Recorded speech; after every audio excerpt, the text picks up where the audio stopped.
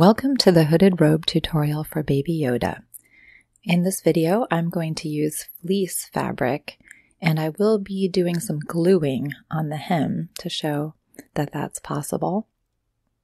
If you haven't seen the previous tutorial, I suggest you watch that. That's a better step-by-step uh, tutorial for making this robe. In this video, I just wanted to show the process a little bit more quickly and using fleece and showing how you can glue the hem. You can get the robe pattern on patooji.godaddysite.com. And um, the other tutorial link is on that site as well. Do make sure you print the pattern at 100% scale and check against the ruler that's on the pattern pieces. And here I'm just cutting the uh, front and back of the robe. You're going to fold your fabric over and then place that pattern piece on the fold where it says to. And again, I would refer you to the previous video. And so, uh, this fabric, by the way, is fleece and it was a fleece blanket, like a throw blanket, uh, for the movie The Eternals. And it was on sale for $5 for this pretty large uh, throw blanket. And uh, yeah, I don't really, I did see the movie, but I don't know who any of these people are. Uh, anyway, so I cut the front piece and the back piece of the robe um, you have to decide which is front and back. So I made my decision, and then whatever's going to be the front piece, you're gonna just uh, fold that in half, only to mark the halfway point. You could measure or however you want to do that, but just cut that front piece in half down the middle. Okay, so I cut that piece in half and oh my gosh, fleece can have a lot of fluff. So shake that out. Now I'm going to cut the hood.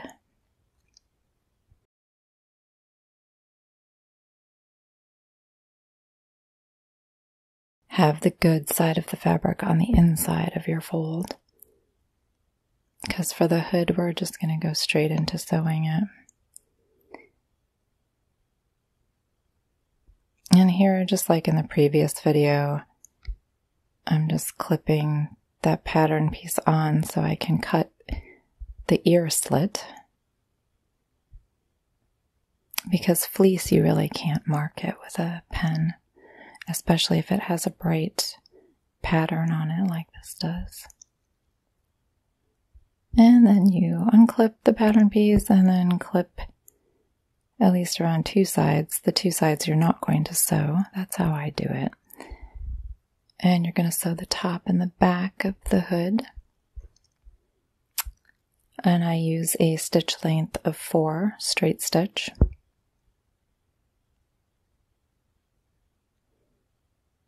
So that hood is done. Make sure you just uh, press your seams out. Not, I don't mean press with an iron, I mean just push your seam out. Uh, do not iron fleece because usually it has some plastic in it and it will melt and make a big mess. Now you're going to sew the front and the back of the robe together. And again, your the good sides of your fabric should be on the inside of the sandwich.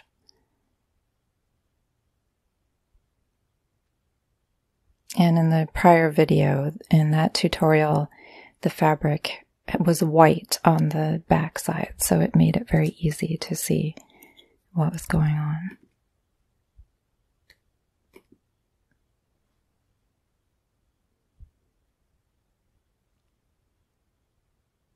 And so you're going to sew around uh, the top of the arm.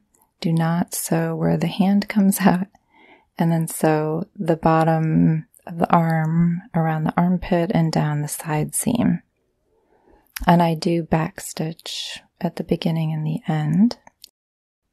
And really, you could just have a little jacket at this point, but I'm going to put the hood on. And it's not great as just a jacket because it is designed to have a hood on it. Maybe I'll make a tutorial for a jacket sometime. Now you're going to attach the hood.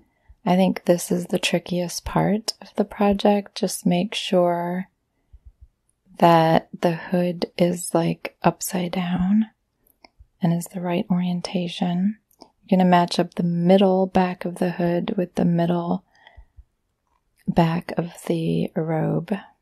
So basically just the middles.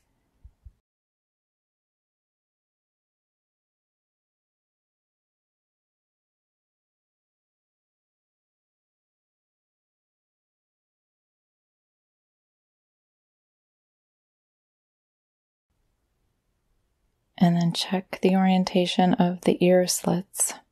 They should be vertical because the hood's upside down. The danger here is putting it on sideways, and I have done that before. And then you have to rip your whole seam out. Now make sure the sides are aligned. That's kind of the most important thing. If you watch the previous tutorial, you'll understand that uh, the middle can be a bit messy, but the sides should be lined up.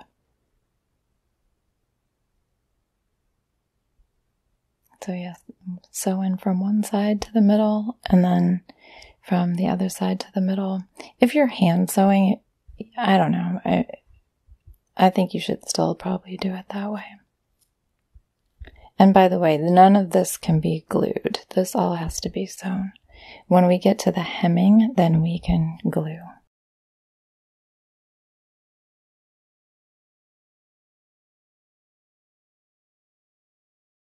Okay, now we get to try the robe on. It is not hemmed yet, so it'll be big. Let's just make sure that the ears fit through the slits. And if you've used fleece, usually it has stretch to it, and the ears should go through pretty well.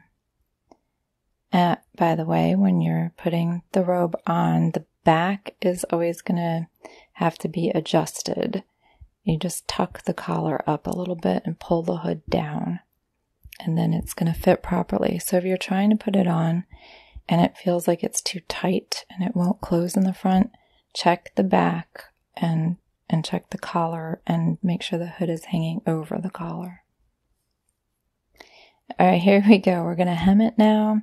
And this is where I meant to do the whole thing with glue, but um, well, either way, you're going to clip it around like I'm doing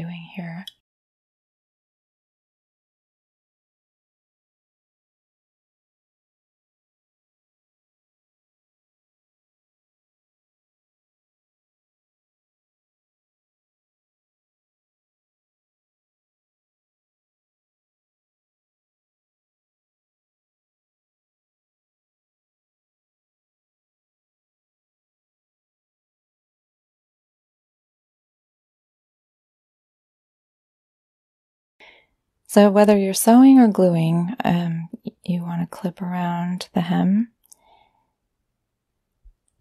And now I took it to the machine and sewed it around, but you could glue it, and I will be gluing after this.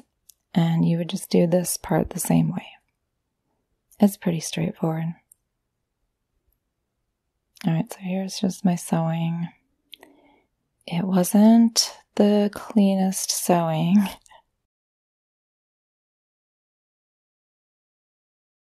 There was one cool thing that happened in the Eternals at the end.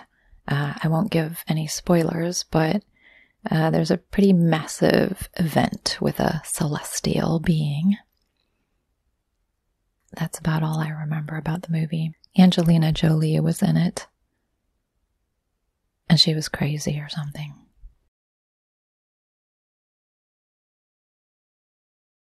The bottom part I'm going to hem with glue. There's also a hem tape.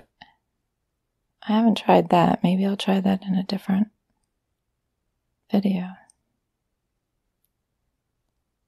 Now I clipped it here. I suppose you don't have to clip it first, but like I said, I was uh, about to sew it when I remembered I'm supposed to glue it. So you could just start gluing and then clip it uh, to hold it in place. And you can try different amounts of glue. This is just Elmer's glue. And that is water soluble. It's gonna wash out if I put it in the laundry. So this I will not put in the laundry. And when I glue the sleeves, I will show you with fabric glue. So here I'm just um, winging it, kind of uh, putting some glue and pressing it down and clipping it.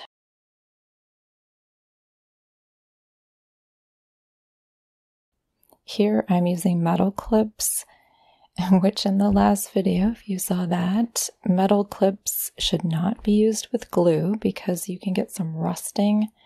And right after I clipped all this, I realized and I replaced them with plastic clips. It's a danger when you make videos in small segments over different days. You just, and you have like 52 other things going on during every day.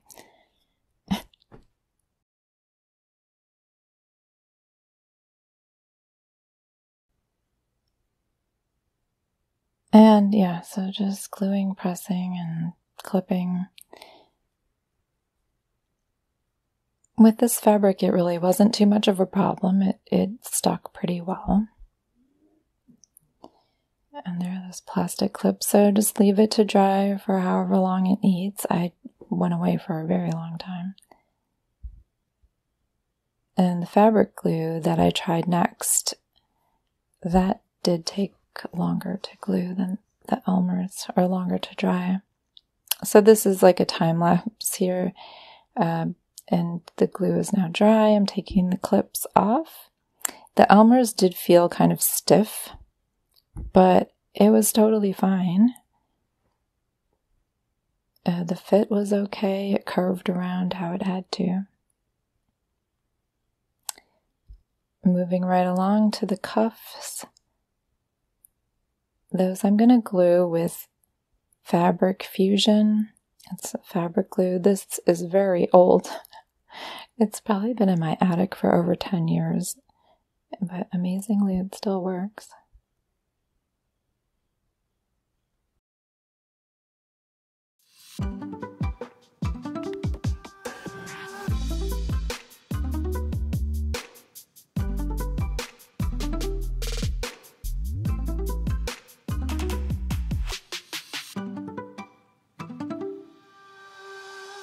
When you get to the end of the circle here, it can be a, a little awkward, but just work it and uh, make sure nothing is bunched up and it really wasn't too difficult to get it in a nice circle.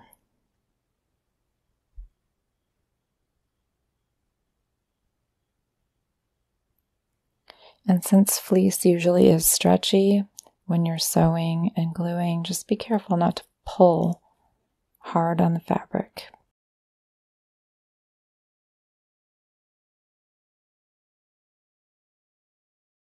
Right, the thing is, Sir Charles believed all sorts of wild legends about the area. Anything and everything, from Arthurian legends to the pits of Tartarus to little fairy creatures perched on mushrooms. One could almost believe in the supernatural, the way the lights in the mire glowed, sort of greenish, leading wary wanderers into the mire, and at night one hears the howling of a lonely moor chicken. And time lapse to later removing the clips.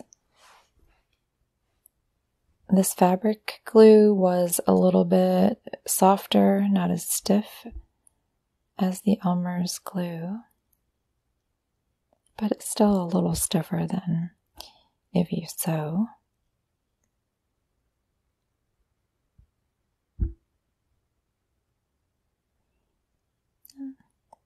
Looks pretty good.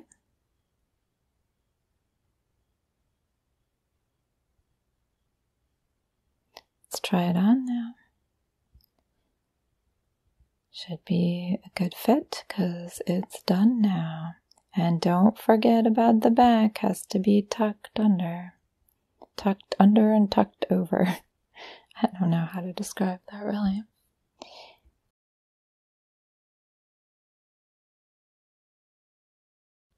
It looks good. But since the fabric is very slippery, when Patu moves around, that hood sort of slid off his head. and here's a little secret you can use.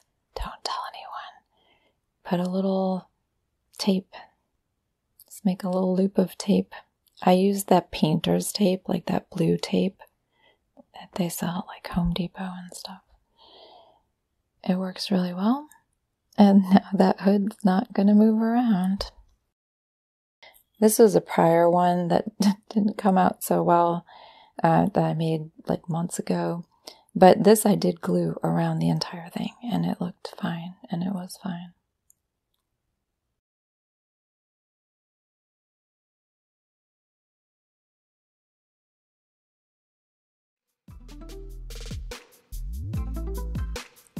Good job. All right, it's done. Looking good.